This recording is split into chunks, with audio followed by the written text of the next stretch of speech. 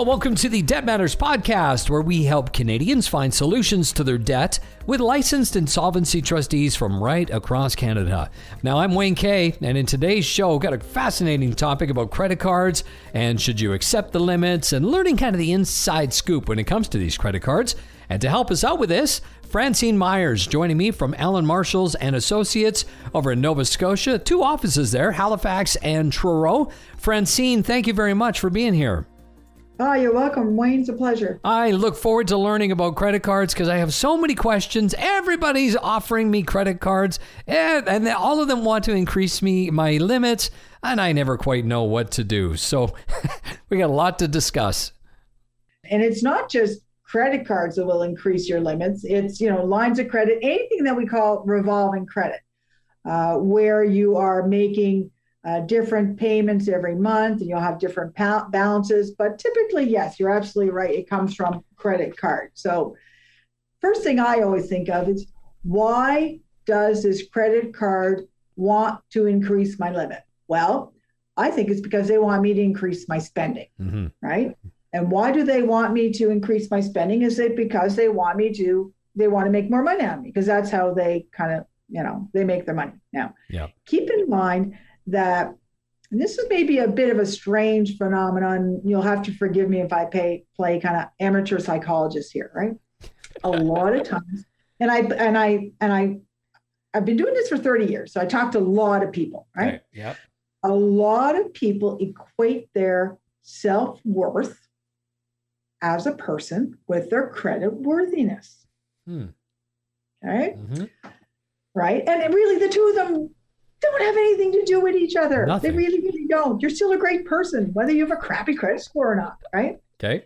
But I do think that credit card companies not only do they want to make more money on us, but they do kind of play on this. Congratulations, right? Like it's like you won the lotto. Yeah. Congratulations, Wayne. You've been approved for an increase. Yep. Which means, by the way, that, that means should mean Wayne. Congratulations, Wayne. Yeah, you've been approved to make us more money. Oh, I thought it was you're a great guy. We've heard from a lot of people. You come into the bank, you're always smiling, you're a great guy. We're just we want to give you more money as a bonus. Well, that's it. It's like you won the lotto, right? okay. So it's not like that. So it's more your way, as you were saying. We want to give you more money, spend more, hopefully yeah. get caught up in that whole not being able to pay it off so that you're paying right. their uh, interest. Yeah. Now, but here's the interesting thing. Okay. So sometimes uh, credit limit increase may actually be something that strategically you can use to your advantage. Mm. Now, how how's that for being mysterious? I like okay? this. Okay. It kind of depends on the circumstances, and it depends kind of where you are with your your credit card. Okay, so if you have been having issues with your credit score, and uh, you know, problems with that, it can sometimes be, and I, I almost hesitate saying this, right? Because I say this with fear and trepidation, right? It can almost be a help if you just increase your score because simple math, okay? What can bring down a credit score? Well, if you have over 30%, you're running more than 30% of your limit. So have a thousand dollar credit card and you're running $500, $600 balance, and you can't seem to get it down. And it's messing up your credit score, that three digits between 300 and 900, mm-hmm. right? Mm-hmm. If they come back to you and say, hey, you know, we're offering you a credit score increase, our credit limit increase, well, you know what? All of a sudden the math looks better. If you increase your limit, you will then bring down your percentage of the limit. Right. It's just great math let's say you increase it to $2,000. Well, 500 of 2000 is now 25%. Huh. Right? Yeah. Right? You haven't done anything, but you've actually possibly increased your credit score next month because all of a sudden you're under that 30% limit. Mm-hmm. Okay. Now, that's a slippery slope. Right. Okay. To do that, you know, if you need that quick fix of increasing your credit score, it'll do it. But be very careful and be very, very disciplined. Right? Mm-hmm. Yeah. Don't start increasing your credit because you're going to find yourself in worse trouble than you were before. Right. Okay? And that's what they're playing on. That's what they're hoping for, I would assume. They are. So I wouldn't recommend that except when you really need to do that to increase your credit score for perhaps some other reason. Even let's say if you're applying for a car loan and they're like, well, you know, your credit score is not that great. You bring the score up and all of a sudden you get a percentage point off something. Well, you know what? That may actually be worth it. Keep in mind, though, a credit limit can also equal a credit decrease, right? So if you're going to do that, qualify for the credit you're going for, and then bring your limit down because you can also decrease your credit limit. It doesn't always have to go up. Now, is is that a bad thing to do that? Does that is that a negative on your credit score when you knock down the amount you have on your card? It would only be if, again, you started to because of the math go higher than thirty percent of the limit. So let's say you were trying to, you know, pay off that credit card and you thought, well, I'm going to start bringing it down as I'm paying it down. Mm-hmm. Okay.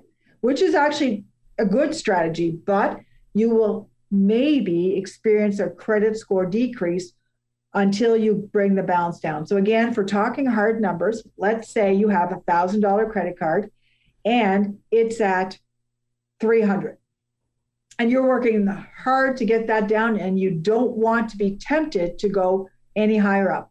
So you bring the limit down to 500 or even 300 because then you can't put anything more on it. All of a sudden, you're at either 60 or 100% of your limit. Mm-hmm. It doesn't matter that that limit is only $500. Really? The algorithm that the credit bureaus use to start calculating that three digit credit score will say, hey, whoa, she's at 60% of her credit limit. Whoa, whoa, she can't pay her bills. It doesn't matter that it's a $500 limit. So you have to be aware of what that's saying. Hmm. Okay. Right? Yeah. Now, here's the other kind of interesting thing. A, a bank, even though your score may start to fall a little bit because of that, a bank who's a real person looking at it will be able to assess that and see what's happening. Okay. So you might actually qualify for a better rate. They say, oh, she's only got a 500. Oh, it's a 300. Oh, that's not a problem. Right. Yeah. But your score will drop, but then a bank may be more likely to lend you money because you're not overextended. Right. Okay, so does and this is as you said, this is not just for credit cards. It could also be for line of credit. People have line of credit. Uh, in fact, I, I can use my son as an example. He actually just got he doesn't he doesn't have a car loan he doesn't have a mortgage but he's really good with making sure that all his uh, credit card bills are taken care of. And they just offered him a beautiful line of credit to which we said yeah i think you should go with uh, getting that line of credit. Just as for credit building. What do you think? Does he what he really needed i get the question is though. Um well he's looking at buying a he needs another car and so, yeah, just maybe.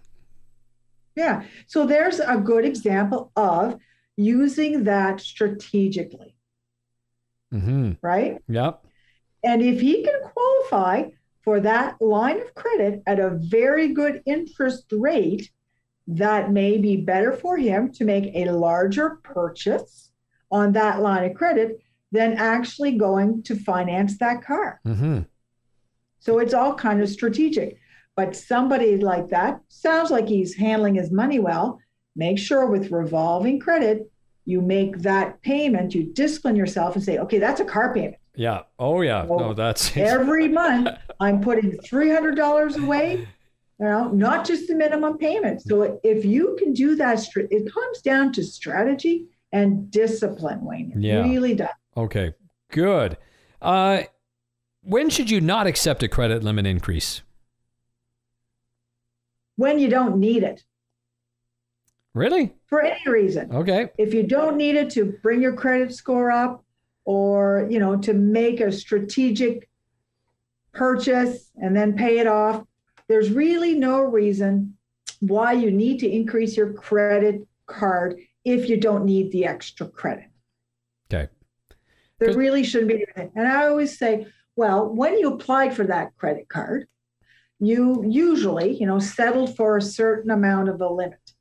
If you're to the point where you're getting close to that limit and you're going to need it because you need more credit, then it's time to maybe step back because slowly when people come to see me wayne and i do you know bankruptcies and settlements with creditors and things like that people don't you know when they come to me they didn't get that first credit card thinking they were going to end up in bankruptcy mm-hmm. right this happened very slowly increase upon increase upon increase oh i'll get this increase it's only a few hundred dollars or five hundred dollars and I'll use it as an emergency fund, which incidentally is probably not the best practice because if you didn't have the money this, this month, you probably don't have it next month, right? Mm-hmm.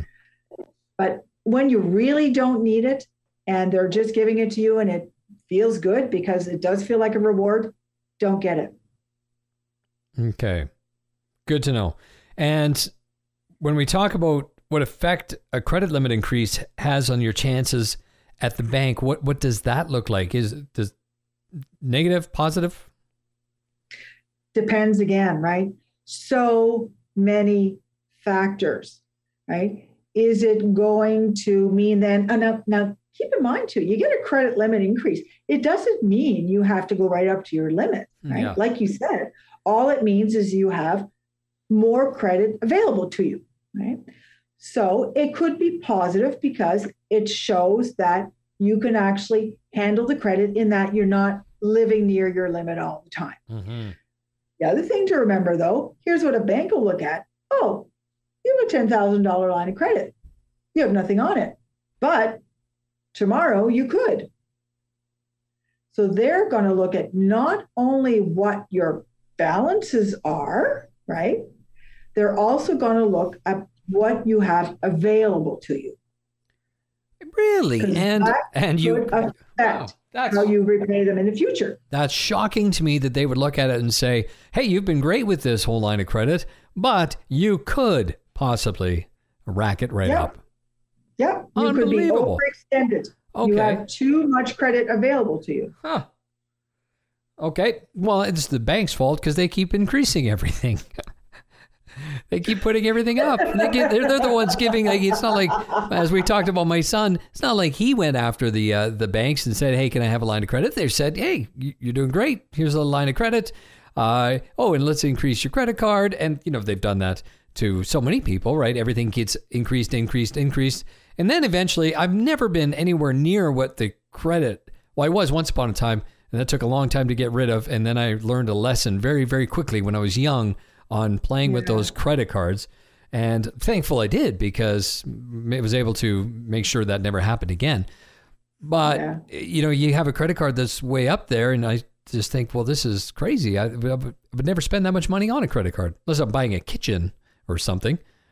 Yeah, and then it's a sometimes, like you say, it's a short-term finance or what have you, and you would have a strategy to pay it off. Yeah, it it's so easy to say, sure, I'll take a credit limit increase because what happens a lot of times is people are using their credit cards as that extra emergency fund when sure. the dog gets sick or the brakes go or the normal things that happen to all of us that they haven't built into their normal budget. But right? Francyne, what about this one? I go to a store I'm going to go pick up something. I go to the store and they say, Hey, would you like one of our credit cards? And we'll give you 20% off your purchase.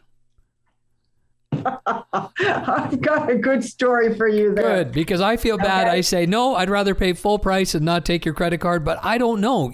You have such yeah. interesting okay, well, here's, ways. Here's where you might, you, you could do that, but I'll, I'll tell you the story. Okay, okay. So I had a friend he was a Leafs fan, and that's sad enough in itself. This isn't a sad story; it's actually a funny story.